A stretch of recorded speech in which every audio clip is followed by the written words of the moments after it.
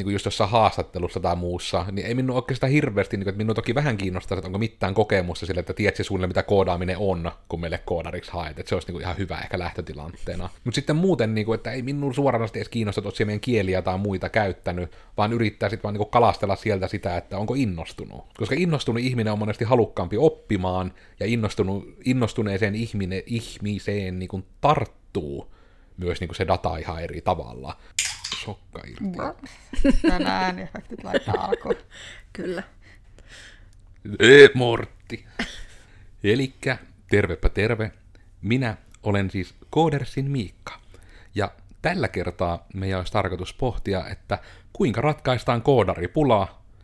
Ja kertataan nyt ihmisiä vieläkin lehdistössä Jumaan kautta puhuttaa kaikkien näiden vuosien jälkeen, niin ratkaista se nyt pois sitten, niin ei tarvi Suomessa enää kenenkään miettiä sitä, miten se ratkaistaan. Annetaan nyt se oikea vastaus, ei pantata sitä yhtään enempää. Ja mien on ratkaisemassa tätä ongelmaa yksin, vaan täällä meillä on myöskin Iida ja Kaisa mukana. Moi. Moi. Ja tota, joo, ehkä se nyt on, tarviiko tätä edes alusta? Onko tämä nyt niitä, ainakin omassa kuplassa se on aika tiedetty asia, että on koodaripulaa ja mistään ei saa koodareita ja sitten olikin, että no onhan noita. Ei kun se olikin osaajapulaa. Hirveä on osaajapulaa, ei löydy osaajia. Ja sitten tultiinkin siihen, miten tämä ongelma ratkaistaan. Miten ihmisistä tulee osaajia? Onko ne niin syntynyt osaajina, vai niin tapahtuuko siinä osaajuuden ja syntymisen välissä mahdollisesti jotain? Meillä vastaus saattaa yllättää. Katso hauska video. Mutta mitä, mitenkäs teille, näin mitä teidän päässä liikkuu, vai liikkuuko nyt tällä hetkellä muuta kuin silmät?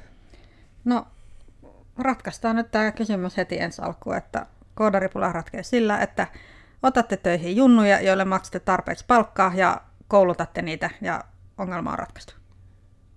Kyllä. Aamen. Piste. No niin. Ja tässä podcast. Moi moi. Ja tämähän se todella niin kuin on justiinsa, tuo on niin kuin semmoinen aika ydinjuttu jotenkin siinä, että kun minua hämmentää eniten se, että tavallaan, että miksi niin moni firma on sitä junnujen palkkaamista niin kuin va- vastaan suorastaan. Ehkä, en tiedä onko niin vahva sana, mutta siitä se tuntuu ja siltä se näyttää. Koska tietyllä tavalla just niin kuin minun omalla kokemuksella se, että siihen niin kuin koodarin saat vähän niin kuin vasta alkaneesta, mutta innostuneesta vähintään niin kuin siihen tilaan, että sen junior-etuliitteen voisi periaatteessa ottaa pois, niin se on alle puoli vuotta niin sitten taas niin kuin se, että, niin kuin, että onko se vain, että ihmiset tai firmat ei ole kerta kaikkiaan vaan tarpeeksi suunnittele ennakkoon. Että se on vasta sitten, että minä tarvisin niin kuin eilen kaksi täysin valmista koodaria. Että onko se vain niin sitä suunnitelmallisuuden puutetta, vai niin kuin, että minkä, mikä siinä on niin kuin siinä suorastaan junnu vastaisuudessa tietyllä tavalla. Mutta ehkä tästä sitten, että jos niin kuin Iida et ole ehkä ihan, ihan niin, niin kuin koodari välttämättä, niin onko sulla niin kuin itselläs vähän niin kuin mitäkään niin kuin ajatuksia tämmöisestä niin kuin osaaja-pula-ajatuksesta, että onko se sulla niin kuin omissa tyylin niin kuin työnhakukokemuksista tai, tai tämmöisessä niin kuin näkynyt jotenkin se ilmiö? On, kyllä, että silloin kun tota, ekoja kertaa rupesin hakemaan niin media-alan työpaikkaa, niin sanottiin, että no ei sulla ole papereita, että älä tuu. Vaikka niin kuin, lähetin portfolion ja niin kuin, kerroin ka- kaiken, että mitä osaan ja näin. Että olen kumminkin opiskellut jo olikohan vuoden päivät opiskellut. Sitten just niin kuin, täälläkin oli ollut harkassa, että oli silleen niin kuin, ihan sitä niin kuin työelämäpohjaistakin kokemusta. Niin... Ja vielä tunnetusta yrityksestä. Niin, niin, si- niin siltikin oli, että joo, että, että katsotaan sitten kun valmistut ja näin. Niin, niin. Sem, semmoinen niin kuin kokemus on kyllä, joo, että että vaikka sitä niin kuin, taitoa ja innostusta niin kuin op, opit, tai niin kuin opetella sitä niin kuin, kaikkea videotuotantoa ja tämmöistä niin oli, mutta kun ei ollut papereita, niin sitten oli silleen, että ei. Siis oliko ihan niin kuin, siis firma, joka vaan niin teki mediaa, vai niin kuin ihan niin kuin mediafirma? Siis joka, joka teki niin kuin valo- ja videokuvausta ihan pelkästään. Hmm. Jännältä kuulostaa, että sitten kuitenkin tämmöisenkin alan yrityksillä niin kuin on jotenkin tuo, niin jotenkin ouvoimalta tuntuu, että nimenomaan videotuotannossa tai tämmöisessä, mm. että niin niillä papereilla piettää niin paljon painoarvoa. Mm. Ja tämäkin toki pitää nyt, kun minä aina säännöllisen epäsäännöllisesti saan sitä äkäistä viestiä, että Coders ei arvosta yhtään kouluja ja niin kuin koulutuksia ja papereita, niin jos te minä nyt ehkä haluan tähän niin kuin sen, että sanotaan nyt oikein alleviivaten, että kyllä, minä on kyllä nähnyt ne teidän viestit ja kuullut ne viestit, minä on niihin vastannutkin, mutta sitten työt enää vasta minulle takaisin, enkä ole ollut äkäinen, vaan nimenomaan jotenkin siis se, että minua häiritsee se, että se osaaminen ja mitkä paperit on, että ne on hirmu monen ihmisen mielessä niin kuin naimisissa toissiinsa. Et se on niin kuin, mistä on oikeastaan Iidakin jo blogia niin kuin just kirjoittanut, että ne paperit itsessään ei ole niin kuin se avain niin kuin vaikka sen työpaikan saamiseen, mm. vaan se on enemmän justissa no okei, tietyillä aloilla taas niin kuin on, että just vaikka miettii kuin psykoterapeutti, niin, niin kuin käy paljon paremmin järkeen, että sun pitää oikeasti vähän niin kuin tietyt ihmismielen lainalaisuudet ymmärtää, että sieltä nimenomaan ole keittiöpsykologina vaan sanomassa, että no, Mie itse ainakin rupesin vain jumppaamaan joka aamu ja ei masenna yhtään, niin mitä jos siekin vaan nousisit kuule sieltä sängystä ja jumppaisit, niin ei masenna. Mm. Sille, että pitää niin kuin ymmärtää, että aivot on vähän erilaisia ja masennus ei ole mikään semmoinen, että just stop being sad juttu, se on oikea sairaus, se oikeasti vaikuttaa niin kuin ihan kehoon, että tärkeää tietää ehkä jotain taustatietoa, että siihen niin kuin ihmisiä työnnettäisiin siihen palveluun. Mutta siitä on, niin kuin, jos nyt oikein kärjistetään, niin nekin sen tyyppiset videot, mitä myö Codersilla, no sanotaan niin päin, mitä mietein Codersilla, ennen kuin oli joku ihminen, joka oikeasti ymmärtää näistä laitteista ja asioista jotain, niin sitäkin olisi periaatteessa, olisin voinut ruveta niin kuin mediatalouksi ja ruveta myymään vaikka niin kuin somemainoksia. Että vaikka en ole käynyt siihen kouluja, en suoraan sano, jos ollut kovin niin kuin, hyvä siinä, sanotaan, että olin ehkä kekseliä. Se on ehkä semmoinen krediitti, mikä voin antaa itselleni noista videoista. Mutta just niin kuin se, että ei niin kuin siinä just vaikka se tekninen osaaminen niin kuin, ei ollut niin kuin se avainjuttu, minkä takia niin kuin vaikka välttämättä olisi niin kuin ostettu niin kuin vaikka Codersilta sitä, mikä se olisi ollut, joku videografers, ders, niin tota, että näitä voisi olla, mutta sitten jotenkin tuntuu ihan hirmu hassulta. Niin kuin, no tämä menee siihen samaan kategoriaan kuin vaikka se, että meille tulee joku sanomaan, että hei, että ootteko ennen tehnyt, vaikka millekään ei ole nyt tehty, Raksa-firmaille niin kuin raksa-alalle nettisivuja. Että no ei olla. No sitten teet on meille oikea kumppani. Niin kuin just silleen, että jos jumalauta, niin käyttekö työ siivoojatkin läpi, että onko teillä niin kuin kokemusta raksa-alan töistä? Le ei. No sitten et voi tulla siivoamaan meidän toimistoa. Just silleen, niin kuin, että tämmöisiä ihan ihmeellisiä syy-seuraussuhteita mun mielestä vedetään niin kuin siihen, että, niin kuin, että minkä takia vaikka jos joku, no yksi mitä aika paljon nyt on LinkedInissä näkyy, että on taiteilijoita, jotka on vähän niin kuin tehnyt sen niishistä siitä, että ne tekee just tommosia niin kuin tyylikkäitä fyysisiä seinäkylttejä toimistojen seinille. Että se on semmoinen hieno. Niin sitten tuli, että onko sulla kokemusta ennen uimahallin seinälle 3D-kyltin tekemisestä. Että onko sillä paskankaan väliä, että jos se juttu, mitä te ostatte, on niin 3D-kyltti, eikä niinkään uimahallin 3D-kyltti. Niin jos sama, että vaikka meiltäkin, niin ennemmin ostetaan vaikka niin kuin nettisivut, kun nyt nimenomaan niin kuin uimahallin nettisivut tai Raksa-firman nettisivut tai... Tuliko sulle kikaa kuumaa? Hei. Mutta niin, ajatuksia.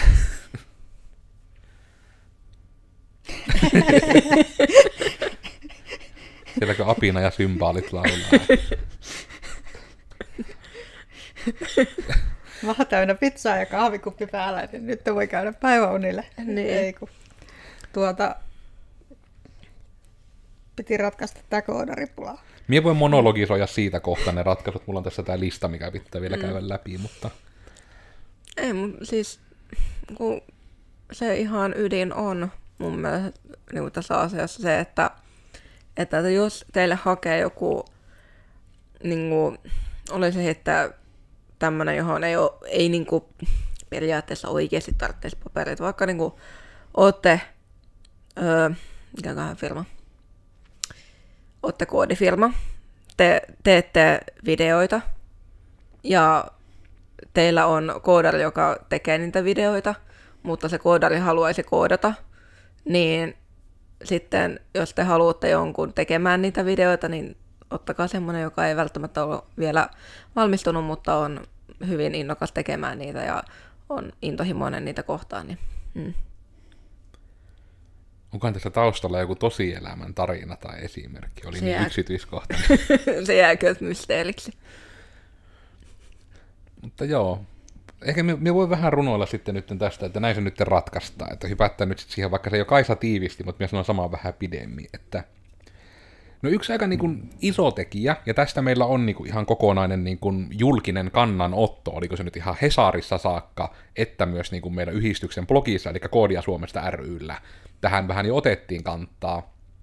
Eli siinä junnu-ongelmallisuudessa yksi aika iso te- ongelma on nimenomaan nämä julkiset kilpailutukset. Eli nimenomaan se, että jos halutaan vaikka, no ne julkiset kilpailutukset oli ihan valtion tasolla, tai just niin kuin näitä niin kuin tosi paljon julkisen kilpailutuksen kautta menee just kaupunkien ja kuntien vaikka nettisivut, että ne on niin kuin sitä kautta. Ja sitten kun siellä nimenomaan aina vaaditaan se, että kaikilla projektissa olevilla pitää olla alaan soveltuva korkeakoulututkinto, ja just tyyliin, niin kuin, että kaikilla pitää olla CVstä niin kuin näyttää vastaavanlaisista projekteista työkokemusta. Eli että oletteko te ennen tehnyt kaupungille ja kunnille nettisivuja, niin nyt jos sen niin kuin näin kun muotoilen, niin eikö kuulosta pikkusen niin Ricked-systeemiltä, että ne, jotka on vähän niin kuin joskus 90-luvulla saanut se ekan, niin ne on nyt ne ainoat, jotka vaan voi tehdä niitä, kun ne on ainoat, jolla on referenssiä siitä. Ja just niin kuin siitä, että joku kaupungin ja kunnan nettisivut, niin ei ne nyt ole niin kuin sen kummemmat nettisivut kuin nettisivut muiden joukossa. Siellä on toki paljon sisältöä, niiden pitää olla saavutettavat, mutta on moni muukin nettisivu, missä on paljon sisältöä ja niiden mm. pitää olla saavutettavat. Et jotenkin se oletus nyt just, että halutaan se toimija, joka on tehnyt ennen kaupungille ja kunnille vaikka niitä nettisivuja, niin se tuntuu ihan älyttömän nurinkuriselta niin kuin omana ajatuksena, että niin kuin ketä se palvelee, että siinä on mm. semmoinen vaatimus lisätty. Ja just tuo niin kuin nimenomaan, että niin kuin tiedän melko lailla niin kuin faktaksi, että niistä firmoista sitten, jotka niitä kilpailutuksia voittaa, niin siellä on toki ne nimet niiltä seniorikoodareilta, mutta ne juniorit ne kuitenkin teille lopulta koodaa. Ne ei joka tapauksessa, niin kuin, ja niin kuin tämä oli, mä näin niin kuin LinkedInissä tästä niin kuin hirmu hyvä esimerkki, jonka me täällä nyt pöllin vähän, niin kuin, että ei sillä työmaallakaan niin kuin vaadita johtajatason papereita siihen niin kuin kottita, kottikärryn työntämiseen. Eli just vähän niin kuin tämä sama, että, niin kuin, että koodiprojekteissakin, niin niin ehkä niin haluaisin just ajatella, että minkä takia etenkin ne junnut olisi hirmu hyvää lisää sinne, kun koodiprojektissa se koodaaminen ei ole vaikeaa. Se koodaaminen on sitä kottikärryn työntämistä. Et sitä niin kuin kärjistettynä nyt sanotaan siis näin päin vähän, niin kuin, että kuka vaan voi tehdä. Mutta nimenomaan se, että missä ne ratkaisut sitten erottuu, on se suunnittelu, jonka kautta niin kuin just, että ja monestihan se onkin niin kuin vaikka se, että esimerkiksi nyt niin kuin, varmaan tässä niin kuin sohvalla olijoista vähiten koodannut niistä, jotka on koodannut, on Kaisa. Niin just siitä, että miekin ounastan, että se oli niin kuin jopa suorastaan niin kuin hyvä tapa oppia tekemiseen, että sulle vähän niin kuin, että se suunnitteluvastuu etenkin on paljon pienempi aluksi, ja sanottaa, niin kuin, että hei, pitäisi tehdä tämmöinen. Ja sitten nimenomaan, että pääsee vähän niin kuin oppimaan sitä, että, niin kuin, että mitenkä, niin kuin just sille, että hei, tämmöinen juttu pitää tehdä, ja siihen annetaan vapaat kädet, vähän niin kuin, että teen niin kuin teet, mutta tämmöinen tarvittaa lopputuloksena. Niin no onko niinku mikä vaikka päällimmäinen fiilis siitä, että niinku kun tuolla tavalla teki niitä juttuja, niin oliko jotenkin niinku hirmu semmoinen olo, että I am underqualified ja voi minua ja...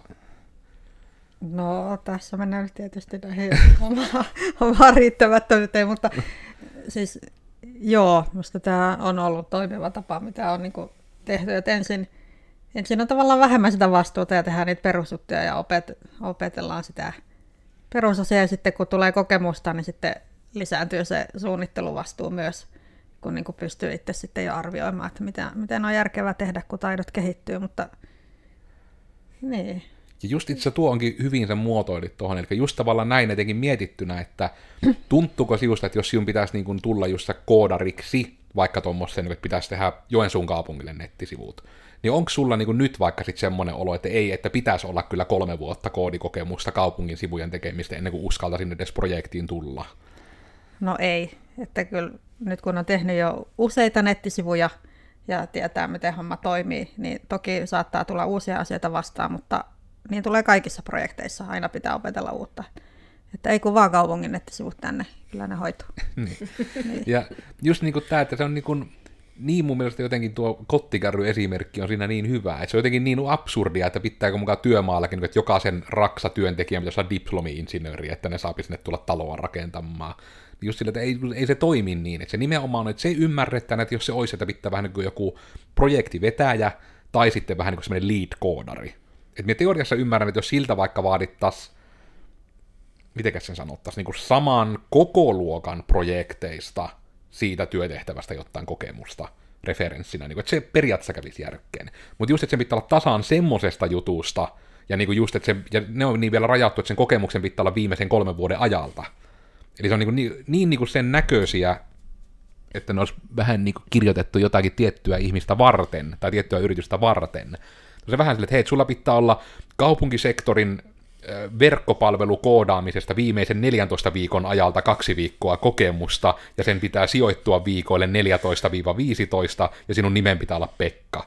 Niin just silleen, hmm, haetaankohan tässä oikeasti sitä niin parasta mahdollista tekijää projektille, vai yritetäänkö tässä vaan nyt saada se tietty toimija niin kuin mukaan kilpailutuksen kautta meille tämä tekemään. Mm.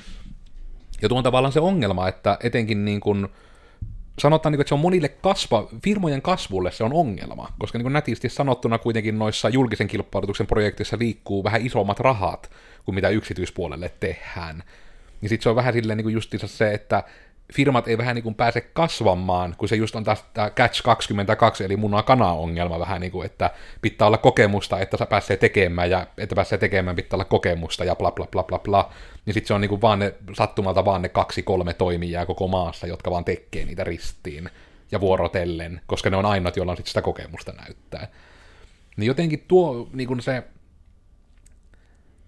kun se aiemman kokemuksen, se on väärä sanaa, mutta jotenkin just tuo, niin kuin, että että ne junnut nähdään niin kuin mun mielestä liian usein vähän niin kuin semmoisena taakkana ja hidastimena eikä mahdollisuutena, jos nyt niin kuin tämmöistä julistelausetta yrittää käyttää, että mikä näyttäisi hienolta, että junnukoodari on mahdollisuus. Jokainen chanssikin on mahdollisuus. Mm. Eli jokainen junnukoodari on chanssi. Mm. Tiesittekö sitä? Nyt okay. tietää. Okei. Okay. Mutta... Järjenvalo loistaa taas. Häikässä.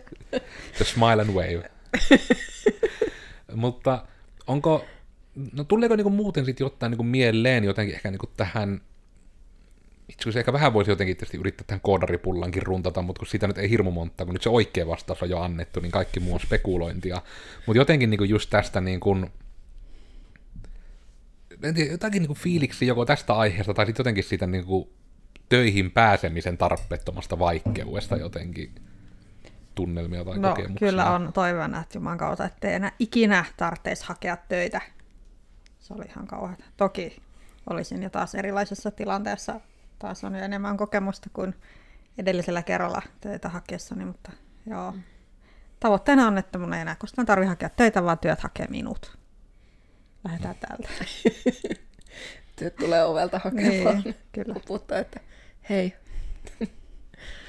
Mut, niin, kyllä se kokemus, mikä on, mikä on täälläkin podcastissa kyllä tullut varmaan jo monta kertaa esiin, että just ei, ei kiinnostanut tämmöinen aloittelevan junnun hakemukset niin kuin juuri ketään, ja ne, ketkä vaivautu vastaamaan, ne oli sitä mieltä, että tarvii olla enemmän näyttöä. Että... Mm. Heidän häpi häviönsä, heidän häviönsä, todetaan nyt näin. en ole katkera, mutta ja mä en tiedä, onko tässä vähän niin kuin sitäkin, mitä mä ehkä on aika vähän loppuunsa avannut viime aikoina omalta kohdalta, mutta just vaikka niin Coderessin rekrykäytännöissä, mä tästä vähän puhuinkin tuossa, kun oltiin, oltiin pizzoja hakemassa, niin tota, itse miten hyvä työpaikka, kun pizzaakin voisi syödä joskus. Pizzaperjantai. Oh, Jaksa näitä töitä paiski, kun on vähän mitään. Mutta just vähän niin kuin siitä, että niin kun, että totta kai, niin kun, että minä tavallaan ymmärrän sen rekrytoijan näkökulmasta just sen, että olisi hyvä, että on portfolio, tai että on hyvä, että on jotta harrasteprojekteja. Että minä tavallaan niin kun, minä ymmärrän sen, mm. ja se on vähän niin kuin se uusi versio siitä, että se on niin se olevinaan progressiivinen versio siitä, että ei tarvi papereita, mutta sulla pitää olla tämmöinen juttu, mihin menee tavallaan paljon enemmänkin työtä kuin johonkin papereihin, mm. että sun pitää tämmöinen täydellinen muista erottuva ja innovatiivinen portfolio vääntää. Ja sitten, että ihmiset nyt vähän niin kuin virheellisesti, sanotaan nyt näin minun mielestä hyvin vahvallakin sanalla, että niin virheellisesti just sitten ajatellaan, että nyt vähän niin kuin emme enää ole ainakaan osa ongelmaa, kun me ei kysytä näitä papereita, että me ollaan nyt progressiivisia, mutta sulla pitää olla itse tehty hieno CV, mikä pitää sisältää just meidän teknologialla tehtyjä asioita ja bla bla bla. Mikä on just taas, että ei mitään järkeä. Et sen takia se niin itselläkin on vaikka öö, niin kuin just jossain haastattelussa tai muussa, niin ei minun oikeastaan hirveästi, niin kuin, että minun toki vähän kiinnostaa, että onko mitään kokemusta sille, että tiedätkö suunnilleen, mitä koodaaminen on, kun meille koodariksi haet, että se olisi niin kuin ihan hyvä ehkä lähtötilanteena. Mutta sitten muuten, niin kuin, että ei minun suoranaisesti edes kiinnosta tosiaan meidän kieliä tai muita käyttänyt, vaan yrittää sitten vaan niin kuin kalastella sieltä sitä, että onko innostunut. Onko niin kuin, koska innostunut ihminen on monesti halukkaampi oppimaan, ja innostunut, innostuneeseen ihmine, ihmiseen niin kuin tarttuu myös niin kuin se data ihan eri tavalla. Et minäkin uskallan sanoa, en nyt tietysti keksi mitään esimerkkiä, parturina toimiminen. Että jos minä, no se ehkä vaatisi, että olisin innostunut siitä ensin, mutta niin kuin omasta päästä näkyy, että en ole, niin, niin kuin tavallaan se, että jos se ihminen niin kuin on innostunut sitä oppimaan, niin kuin just vaikka etenkin se koodari, niin se on jumalauta, niin kuin, että se on oikeasti kolmen kuukauden homma kouluttaa se ihminen niin kuin autonomiseksi koodikanuunaksi. Ja sitten se tuntuu jotenkin niin nurinkuriselta, että sitten nuo firmat, joilla olisi perkele niitä resursseja ja eurojakin työntää siihen asiaan, niin sitten se, että niin kuin, muotoilla nyt vaikka näinpä, että en minä jumalauta on niin erityinen ihminen. Että minä niin kuin jotenkin pystyisin kaikki asiat tekemään paremmin kuin monen firman kokonainen HR-osasto. Että sen takia, takia niin kuin, että mun on vaikea uskoa, että se ongelma olisi niin kuin siinä substanssissa tämän niin kuin rekrytoinnin tai osaajien saamisen tai muun kanssa, vaan se on ehkä vähän niin kuin jopa, voiko nyt sanoa, että se on niin siinä rekrytoijien asenteessa. Niin siinä on joku, ja sitä kun tiedä mikä, mikä siellä niin on niitä junnuja vastaan niin aggressiivisesti, mutta se niin paistaa, että junnuja vastaan on joku, joku siellä on ja aggressiivisesti, kun se on niin, voiko nyt jopa sanoa, että se on niin systemaattinen ongelma. No itse taas niin kuin työnhakijan puolelle se näyttäytyy vaan sillä, että hakijoita on niin paljon, että niistä on sitten varaa valita ne, joilla oikeasti on sitä näyttöä ja osaamista ja pystyy laukomaan oikeita vastauksia teknisiin kysymyksiin. Et toki ymmärrettävää, että sitten valitaan semmoinen, jos semmoinen on tarjolla. Mm. Niin kun, että kyllä sen ymmärtää sen työnantajan näkökulmankin tietysti, että jos niitä kerran on tosiaan niitä hakijoita sille jonosasti. Ilmeisesti niitä on, koska näin voi tehdä.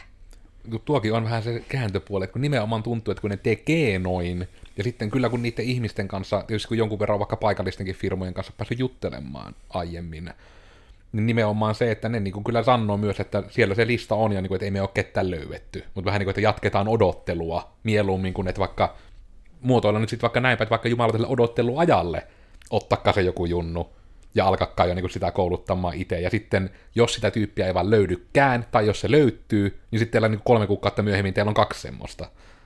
Koska ehkä tuokin on jotenkin siinä aikajanassa, että musta jotenkin tuntuu ihan, niin kuin, että niin, kun en nimenomaan, minä kuitenkin haluaisin ajatella, että minä olen semi järjellä ajatteleva ihminen, me ei järjellä löyä niin kuin mitään syytä just tuohon, että, niin, että onko se oletus vaikka, että sen koodarin järkeväksi saaminen, koska jossainhan on niin kuin, tämä raja vähän niin kuin heitetty, että ekaat 1-3 vuotta koodari on aina niin kuin junnukoodari, ja sitten se sen jälkeen on vähän niin kuin koodari, ja oliko nyt 5-7 vuotta, kun on ollut, onko se nyt alalla vai samassa firmassa, niin sitten se muuttuu niin senior-koodariksi.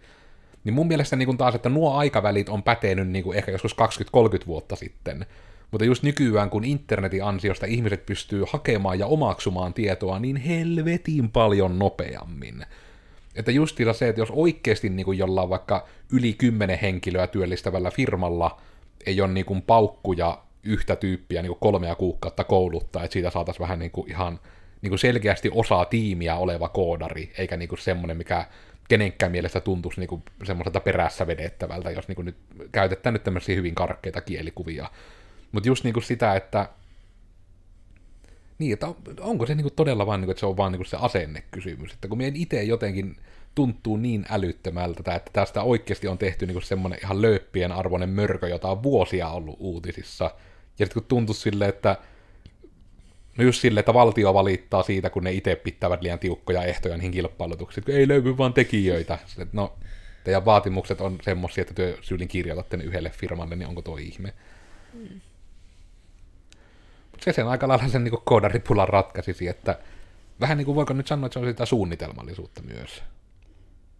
Mm, kyllä.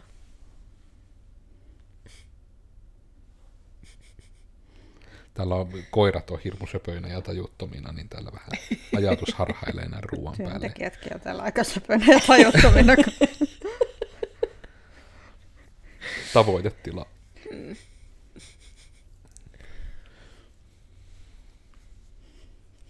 Mitäs Iida siitä miettii?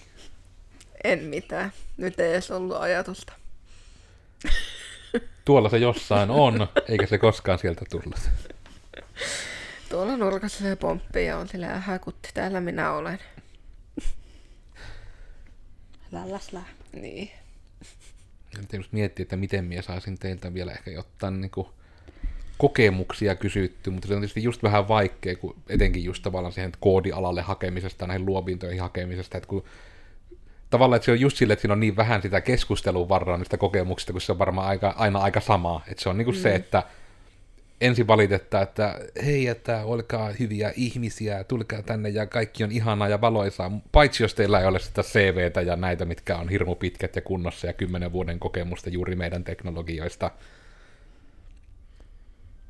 Ehkä tuokin, me yritän miettiä jotenkin jotain kaunista runollista lausetta tälle, että tulee jotenkin niin just se olo, että jos teillä ei ole mitään niin suunnitelmallista tyyliä yrityksessä, millä työ ajatte niitä junnuja sisään, niin teillä ei ole oikeutta valittaa osaajapulasta, jos niin kuin jotenkin näin voisi miettiä. Että, kun se on niin kuin periaatteessa minun silmissä ainakin vaan sitä, että niin kuin valitetaan jostain asiasta tarjoamatta tai edes miettimättä niin kuin mahdollista ratkaisuehdotusta, mikä on vähän niin kuin kaikissa tilanteissa, niin kuin, että se, että valitetaan valittamisen ilosta, niin ei se niin kuin yleensä hirveästi edistä mitään.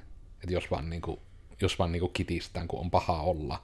Ja mä en tiedä, on, onko tämä, niin kuin, että kaiken taustalla onkin vaan se, että kaikilla HR-ihmisillä on hirmu paha olla. ja sitten ne sen takia niin kuin heijastaa se niin, että nyt minä en sitten yritäkään etsiä tänne niitä osaajia, että tämä firmassa kaikki on ylityöllistettyä ja voi pahoin, kun ei mukaan nyt löydy niitä tyyppejä. Onko se joku HR-tyyppinen salaliitto? Myökö se löydettiin? Todennäköisesti. No niin, salaliitto paljastettu. Mm. Iltalehti, otahan koppi tästä.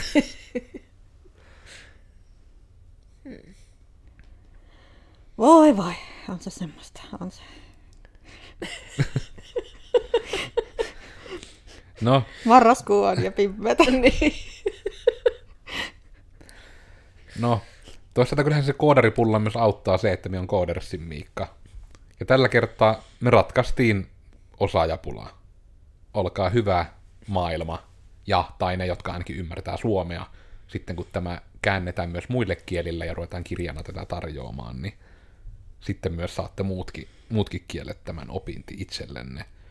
Mua löytää somesta kahvalla Tekenkai, ja ehkä viimeisinä ajatuksina just sitä, että osaajapulaa ei ole niin kuin mitään muuta kuin suunnitelmallisuuden puutetta, ja jotenkin se, että koodifirmat, että sisäistäkää se, että jos teillä menee koodarin sisäajamisessa yli puoli vuotta, että se niin kuin voi olla vähän niin kuin, mikä tämä nyt olisi paras sana, niin kuin e- epäironisesti osana tiimiä. Käytetään nyt vaikka tämmöistä ilmausta. Niin tavallaan se, että silloin teidän sisään ajossa on jotain vikaa, koska jumalauta, jos minä pystyn sen yksinään tekemään, niin kyllä niin kuin teidän hartioilla sen ei pitäisi olla mikään ongelma.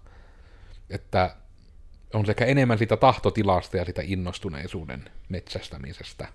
Toki menee ja tiedät, onko muilla firmoilla sitten just se ongelma, että on näitä feikki-innostuneita, että ollaan innostuneita vielä haastattelua mutta heti kun on koeaika loppu, niin sitten ruvetaan vaan paskomaan pöydälle ja itkemään nurkassa. Tai mitä ikinä huono työntekijä saattaisi tehdä. Ehkä näitä jopa yhtä aikaa. Minulla on hyvät kauhukuvat.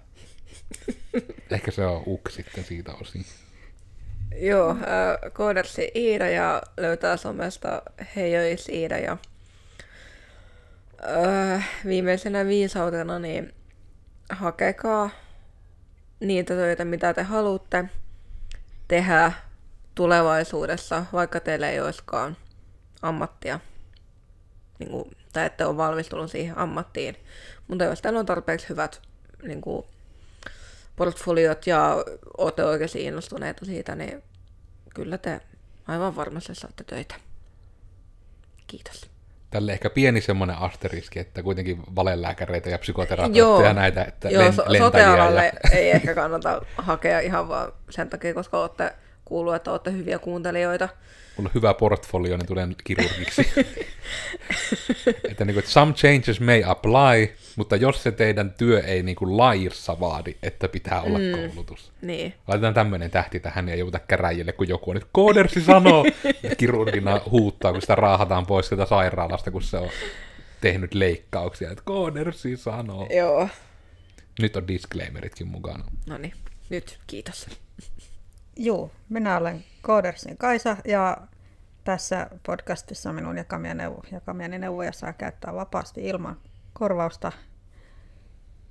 Ja vielä tämmöinen katkeroituna entisen työnhakijan tilitys, että tämmöisiä helmiä saatatte menettää, kun ette edes vaivaudu lukemaan niitä hakemuksia. Mutta joo, ehkä tämä oli liian negatiivinen lopetus. Oikein mukavaa syksyn jatkoa ja jutellaan vaikka LinkedInissä sitten lisää. Joulu tulla jollottaa ja Iloisia ajatuksia. Joo, ja tosiaan tämmöisiä iloisia ajatuksia sisältäviä podcasteja meiltä tulee aina joka tiistai. Löyvytään sitten kuvan kanssa YouTubesta, mutta jos tuntuu, että pelkkä korvaan kuiskuttelu riittää, niin Spotify, iTunes, Google Podcasts. Ja niille, jotka ei tykkää ASMRstä, niin minä pyydän anteeksi, mutta välillä minun pitää vähän herätellä, että elämässä voi joskus tapahtua ihan mitä tahansa. Mietipä sitä. Tällä kertaa puhuttiin tämmöisestä asiasta. Ensi kerralla puhutaan jostain ihan, ihan niin kuin päinvastaisesta, ihan jostain muusta. Mutta tule sitä sitten katsomaan ensi tiistaina, mutta tältä päivältä toivotetaan teille oikein mukavaa jatkoa elämään. heippa, Hei hei. elämä on ihmeellistä. Milloin vaan voi tapahtua jotain hyvää. Kyllä.